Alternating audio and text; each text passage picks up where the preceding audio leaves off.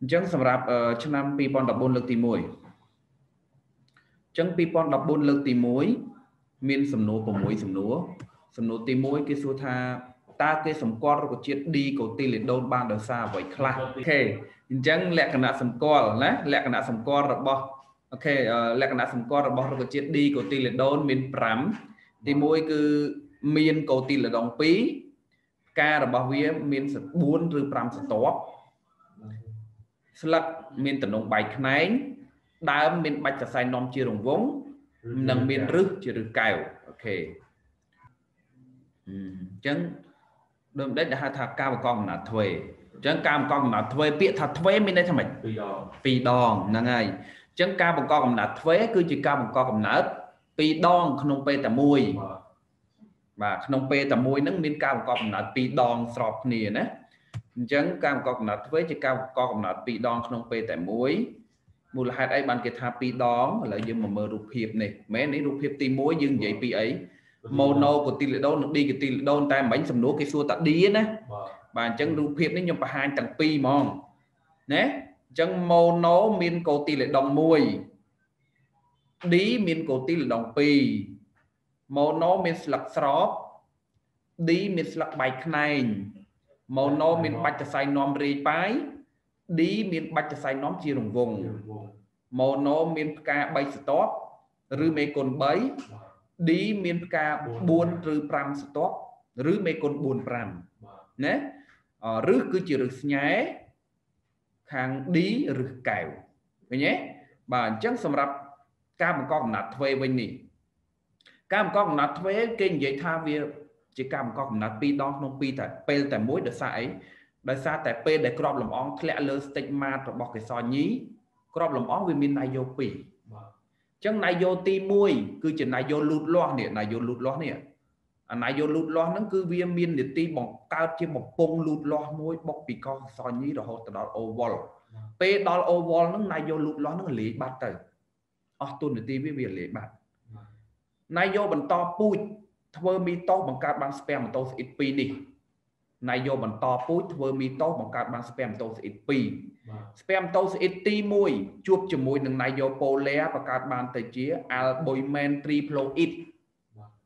ស្ពែមតូសអ៊ីតទី2ជួបជាមួយ OO ស្វែបង្កើតបាន zygote ហើយលូតលាស់ជាអំព្រីយ៉ុងដោយសារតែវាបង្កកំណើត2ដងព្រោះវាមានស្ពែមតូសអ៊ីត2នឹងហើយទើបគេហៅថាការបង្កកំណើតទ្វេអូខេ បាទអញ្ចឹងសំណួរទី3សំណួរពិសោធន៍របស់យើងណាចម្លើយកនេះគេសួរថាតើក្នុងកែវនោះគេឃើញមានពណ៌អីកើតពណ៌អីអញ្ចឹងនៅក្នុងកែវគឺកើតមានពណ៌ពណ៌ស្វាយបាទកើតពណ៌ស្វាយណាចំណែកខវិញគេសួរថាគេដាក់សូលូស្យុងសូរ៉ូយ៉ូមអ៊ីដ្រុកស៊ីត10%និងសូលូស្យុងតុងដែងសូលផាត0.5%ដើម្បីអីអញ្ចឹងគេដាក់ដើម្បីបញ្ជាក់ពីវត្តមានរបស់ប្រូតេអ៊ីន តើនេះបញ្ជាក់ថាក្នុងនឹងមានវត្តមានរបស់ប្រូតេអ៊ីនឬយើងអាចឆ្លើយបានថាអញ្ចឹងបើពាក្យប្រើពាក្យឬបានន័យថាយើងឆ្លើយអញ្ចឹងក៏បានឆ្លើយដូចខាងក្រោមក៏បានមិនបាច់ឆ្លើយទាំងពីរណាមួយក្នុងចំណោមពីរហ្នឹងយើងឆ្លើយមួយណាក៏បានអញ្ចឹងខាងក្រោមគេឆ្លើយជាពីរចំណុចចំណុចទី1គេប្រើ solution hydroxide សូរ៉ូយ៉ូម hydroxide 10%ដើម្បីផ្ដាច់សម្ព័ន្ធប៉បទីតឬចំណងប៉បទីតរបស់ប្រូតេអ៊ីន ដល់ទេ solution តុងដែង sulfate 0.5%គេប្រើដើម្បីបញ្ជាក់វត្តមានរបស់ប្រូតេអ៊ីនអញ្ចឹងពីរចម្លើយនឹងយើងឆ្លើយមួយណាក៏បានដែរយល់ទេយ៉ាងអាចឆ្លើយខាងលើនេះក៏បានអាចឆ្លើយខាងក្រោមនេះក៏បានហើយបើកូនសិស្សខ្លះគាត់ឆ្លើយមកទាំងពីរក៏វាអត់ខុសដែរហ្នឹងគាត់ទៅល្អហើយតែគាត់ខាត់ពេលបន្ទុកបានដូចគ្នាយើងឆ្លើយទាំងពីរវាខាត់ពេលតើណាអូខេសំណួរទី4តើនុយក្លេអ៊ីតជាអ្វី វាផ្សំឡើងពីធាតុអ្វីខ្លះចឹងនុយក្លេអ៊ីតគឺជាធាតុបង្កតូចតូចរបស់ ADN ឬយើងហៅថា monomer របស់ ADN ណាអញ្ចឹងធាតុនុយក្លេអ៊ីតនឹងបង្កឡើងពីធាតុបង្ក3ប្រភេទទៀតមានអីខ្លះអញ្ចឹងដើម្បីបង្កើតបាន adenine មួយគ្រាប់ហ្នឹងតើវាត្រូវបង្កើតឡើងពីអីគេខ្លះ3ប្រភេទមាន3ប្រភេទណាអញ្ចឹងអ្វីដែលបង្កើតឡើងទី1គឺស្ករ deoxyribose 1 molecule ស្ករ deoxyribose 1 molecule ដែលរូបមន្តរបស់វាគឺ C5H10O4 ណាទី2គឺអាស៊ីត phosphoric 1 molecule ដែលរូបមន្តវាគឺ H3PO4 អាស៊ីត phosphoric ដូចគីមីដែរណាអូខេនឹងមួយទៀតគឺបាសអាហ្សូតបាសអាហ្សូតមួយម៉ូលេគុលដែលបាសអាហ្សូតរបស់យើងមាន4ប្រភេទគឺ ATCZ នឹងហៅជាបាសអាហ្សូតអញ្ចឹងបានន័យថាអានេះអានេះគឺដូចគ្នាអាពីរនេះដូចគ្នា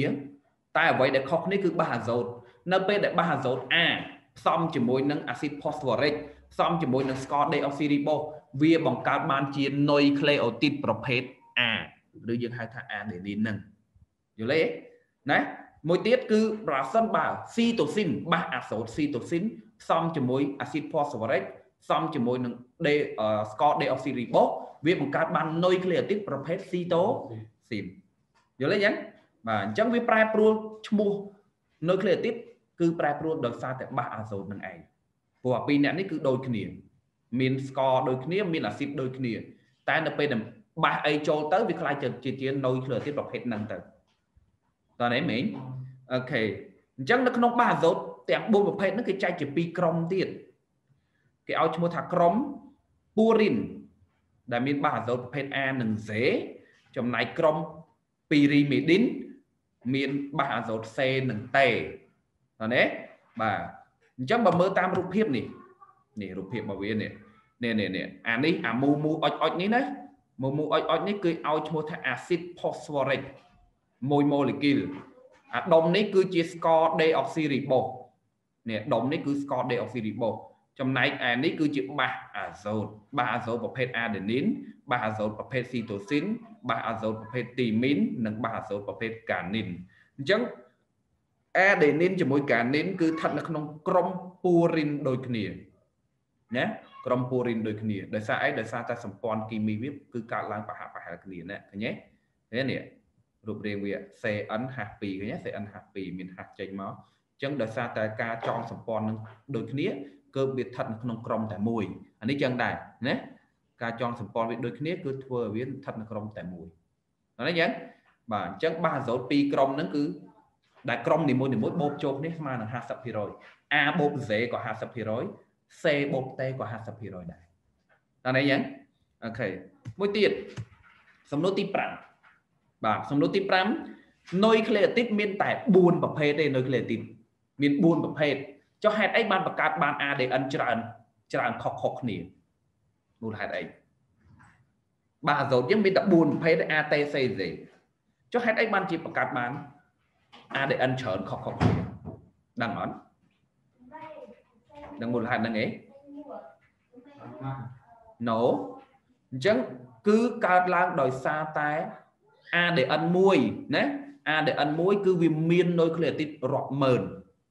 ក្នុង ADN មួយម៉ូលេគុលនេះ ADN មួយម៉ូលេគុលមាននុយក្លេអូទីតរាប់ម៉ឺន ដែលរាប់ម៉ឺនហ្នឹងវារៀបរៀបតំណលំដាប់របស់វានឹងជាក់លាក់មួយហើយ ADN ខុសខុសគ្នាគឺខុសគ្នាដោយសារតំណលំដាប់ខុសគ្នាតំណលំដាប់នឹងខុសគ្នាបាទអញ្ចឹងដោយសារចំនួនទីតាំងនិងប្រភេទខុសគ្នាទើបធ្វើឲ្យ zen មានលក្ខណៈខុសគ្នាដែរអញ្ចឹងនេះយើងមើលនេះនេះលំដាប់របស់វា CZ AT CZ អញ្ចឹងលំដាប់អញ្ចឹងលំដាប់អញ្ចឹងបង្កើតបាន zen មួយអញ្ចឹងគ្រាន់តែខ្ញុំដូរទីតាំង A នេះមួយចុះមកក្រោមវិញណា ខ្ញុំដូរឲ្យទីតាំង A នឹងចុះទៅក្រោមវិញវាបង្កើតបាន zen ថ្មីមួយទៀតហ่ะខ្ញុំដូរទីតាំង C ទៅលើវិញ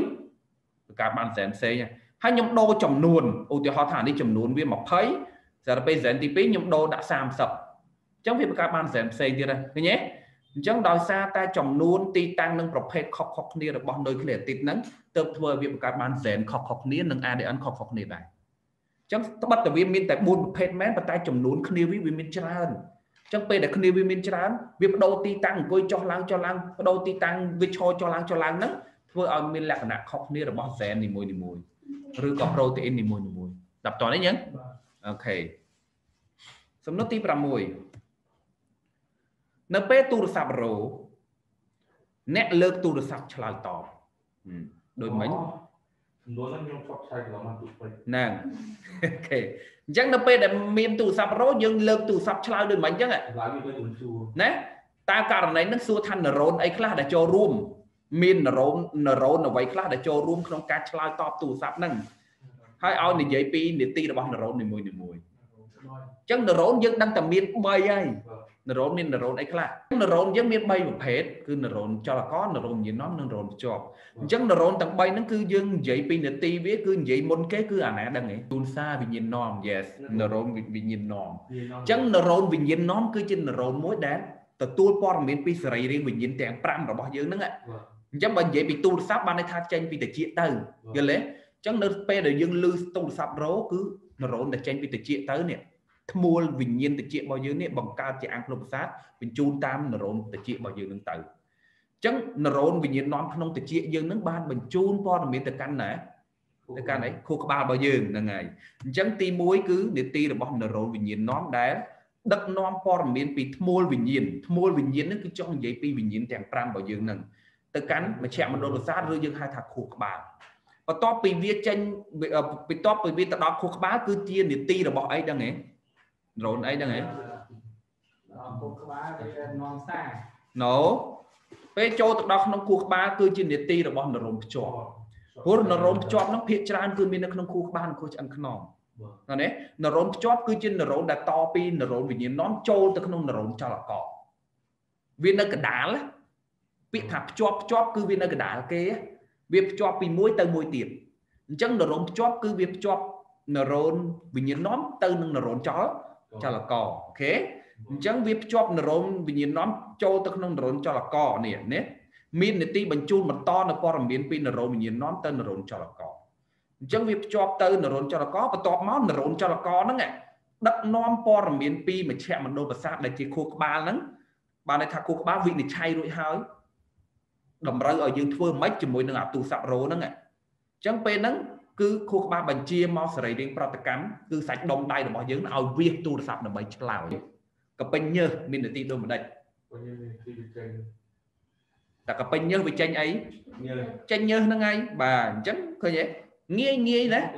បាទអញ្ចឹងក្រពេញញើសមាននទីបញ្ចេញញើសហើយញើសហ្នឹងគឺជាសារធាតុពុលជាទឹកជាកាកសំណល់មេតាប៉ូលីសមិនអញ្ចឹងហ៎បាទអញ្ចឹងនៅក្នុងនេះគឺ ក្រពេញញើសមាននាទីបញ្ចេញញើសដែលជាសារធាតុទឹកសារធាតុខានិចអ៊ុយរ៉េនិងសារធាតុផ្សេងផ្សេងហើយបញ្ចេញញើសហ្នឹងគឺដើម្បីអីដើម្បីបន្ថយសីតុណ្ហភាពសារពាង្គកាយអញ្ចឹងទូនាទីវាមួយទៀតគឺជួយបន្ថយសីតុណ្ហភាពសារពាង្គកាយរបស់យើងក្រៅពីបញ្ចេញជាតិពុលពីក្នុងខ្លួនមកគឺបន្ថយសីតុណ្ហភាពសារពាង្គកាយព្រោះយើងបែកញើសនៅពេលដែលយើងក្តៅស្អុះមែនទេនៅពេលដែលអាកាសធាតុក្តៅត្រូវទេ អញ្ចឹងធ្វើឲ្យរាងកាយរបស់យើងឡើងកម្ដៅអញ្ចឹងញើសនឹងវាជួយបញ្ចេញមកដើម្បីបន្ថយសីតុណ្ហភាពសាររាងកាយរបស់យើងអញ្ចឹងទួនាទីវាពីរនឹងសំខាន់ណាអូខេមួយទៀតសំណួរទី2អង់ទីប៊ីយោទិកជាអ្វីចឹងអង់ទីប៊ីយោទិកគឺជាសារធាតុសាំញ៉ាំដែលផលិតចេញពីពពួកមីក្រូសារពាង្គកាយបាទវាគឺជាពពួកសារធាតុដែលបង្កើតចេញពីមីក្រូសារពាង្គកាយសម្រាប់ព្យាបាលជំងឺ ដែលបង្កពីបាក់តេរីអូខេសំណួរទី3ដូចម្ដេចដែលហៅថាក្រពេញប៉ារ៉ាទីរ៉ូអ៊ីតវាមាននីតិធ្វើអីណាក្រពេញប៉ារ៉ាទីរ៉ូអ៊ីតគឺជាប្រភេទក្រពេញតូចតូចរាងពងក្រពើដែលមាន4មានចំនួន4ណាក្រពេញហ្នឹងហើយក្រពេញហ្នឹងគឺនៅក្រោយក្រពេញទីរ៉ូអ៊ីតណាស្ថិតនៅពីក្រោយក្រពេញទីរ៉ូអ៊ីតនេះ ក្រពេញប៉ារ៉ាទីរ៉ូអ៊ីតជាក្រពេញដែលមានរាងពងក្រពើតូចតូចចំនួន4បង្កប់នៅផ្នែកខាងក្រោយនៃក្រពេញទីរ៉ូអ៊ីតអញ្ចឹងក្រពេញប៉ារ៉ាទីរ៉ូអ៊ីតហ្នឹងគឺមាននទីផលិតអរម៉ូនប៉ារ៉ាទីរ៉ូអ៊ីតណាអរម៉ូនប៉ារ៉ាទីរ៉ូអ៊ីតសំណួរទី4ហេតុអ្វីបានជាគេថាក្របលំអងមិនមែនជាកម៉ែតឈ្មោលចូលបញ្យលឥឡូវខ្ញុំសូមបង្ហាញពីសំណួរ2នៅក្នុងមេរៀនអង្គ Zone Spam សំណួរទី1 អានេះសំណួរអានេះសំណួរក្នុងមេរៀនអង្គ Zero Spam ណាចូលនិយាយពីកំណរក្របលំអងអញ្ចឹងកំណរក្របលំអងនេះរូបភាពរបស់យើងអញ្ចឹងក្របលំអងគឺជាកោសិកាភេទឈ្មោលមួយកោសិកាមួយដែលស្ថិតនៅក្នុងផ្លោកលំអងនេះអញ្ចឹងនៅក្នុងផ្លោកលំអងគឺមានកោសិកាមេនឹងជាច្រើន កោសិកាមេជាច្រើនណាប៉ុន្តែក្នុងហ្នឹងមានមួយណាមិនមែនមិនមានមួយនីមួយនីមួយ កោសិកាមេនីមួយនីមួយវាត្រូវធ្វើមេយោបង្កើតបានកោសិកា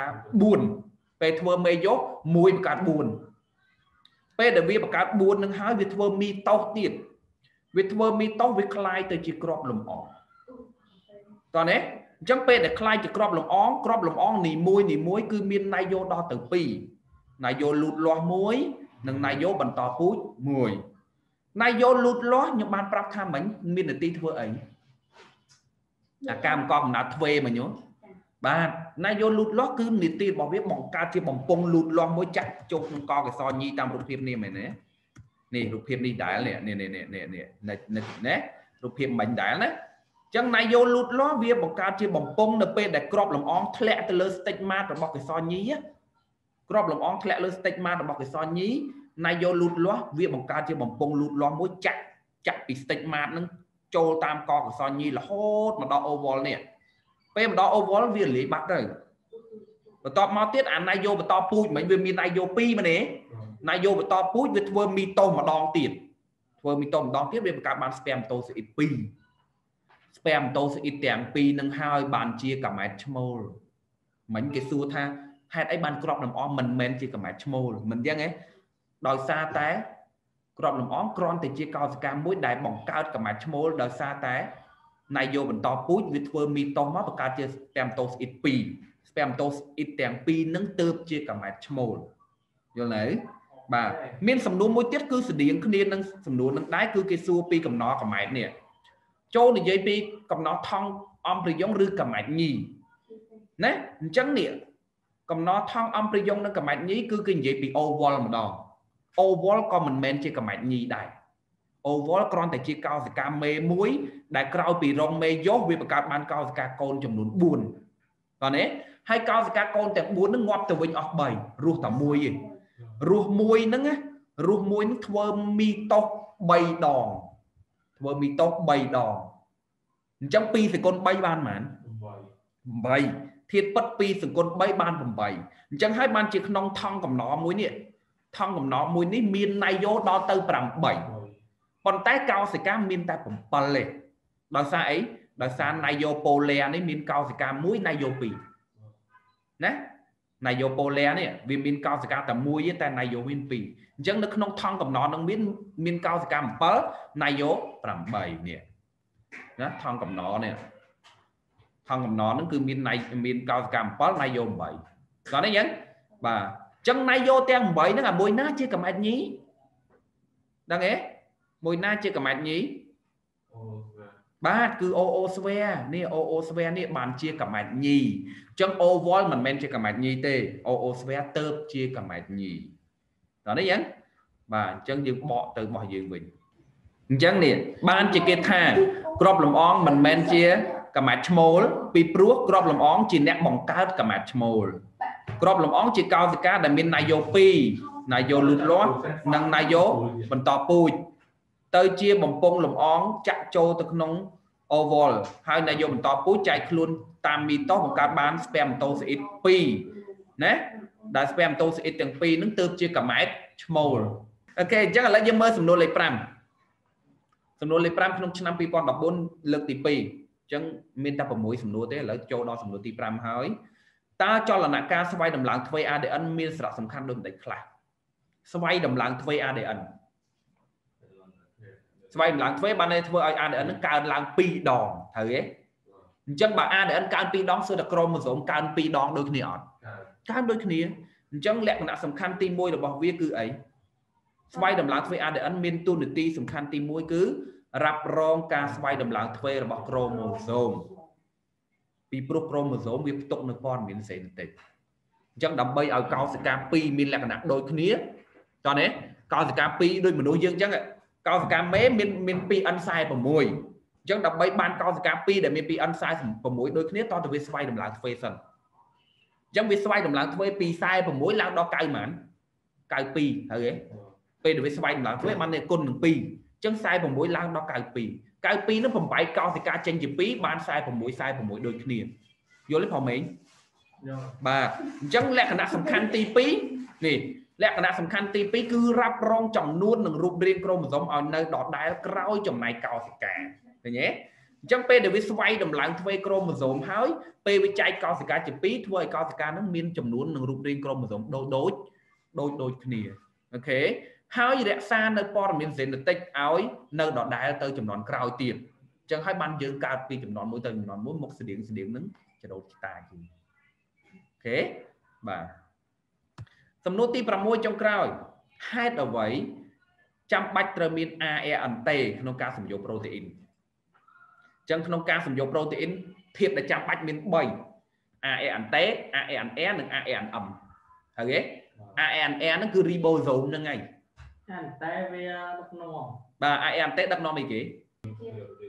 ARNM ជាអ្នកចម្លងព័ត៌មានចេញពី zen មកចេញពី nayo ចូលមកក្នុង cytoplasm ដឹកនាំ AR អន្តេដឹកនាំអីគេដើម្បីបង្កើតប្រូតេអ៊ីនតើតើមានអីតជាប់គ្នាដឹកនាំដឹកនាំអីដឹកនាំអីគេដែលរូបមន្តវា M លើ3ដក2អូដឹកនាំអាស៊ីដអាមីយ៉ាដឹកនាំអាស៊ីតអាមីណេអញ្ចឹង AR អន្តេគឺជាអ្នកដឹកនាំអាស៊ីតអាមីណេមក មូលហេតុអីបានវាអាចដឹកអាស៊ីតអាមីណេបានដោយសារ AR អន្តេមានកម្ពស់2ឬយើងហៅថាចុងចុងសងខាងរបស់វាមាន2កម្ពស់ទី1ដែលមាន ribonucleotide 3ហៅថាអង្គទីកូដុងហើយអង្គទីកូដុងតម្រូវជាមួយនឹងកូដុងរបស់ ARNM ត្រូវទេបាទអង្គទីកូដុងមួយត្រូវជាមួយកូដុងមួយរបស់ ARNM លើកលែងតែកូដុងអីកោដងអឺ stop ហ្នឹងកូដុង stop លើកលែងតែកូដុង stop ហ្នឹងដែលដែល AMT អត់ត្រូវជាមួយមែនទេចំណែកកូដុងផ្ដើមដែលជា meionin ហ្នឹងក៏ត្រូវដែរបាស3តគ្នាណាបាស3តគ្នារបស់ ANM យើងហៅថាអង្គអឺហៅថាកូដុងមិនអញ្ចឹងបាទបាស3តគ្នារបស់ ANT ហៅថាអង្គទីកូដុងណាអញ្ចឹងចុងម្ខាងមានអង្គទីកូដុងដែលតម្រូវជាមួយកូដុងរបស់ ANM ចំណែកចុងម្ខាងទៀតគឺសម្រាប់ភ្ជាប់អាស៊ីតអាមីអាមីណេអញ្ចឹងដាច់ខាតត្រូវតែ ត្រូវការ AR អន្តេមកឲ្យព្រោះ AR អន្តេជាអ្នកដឹកនាំអាស៊ីតអាអាមីណេ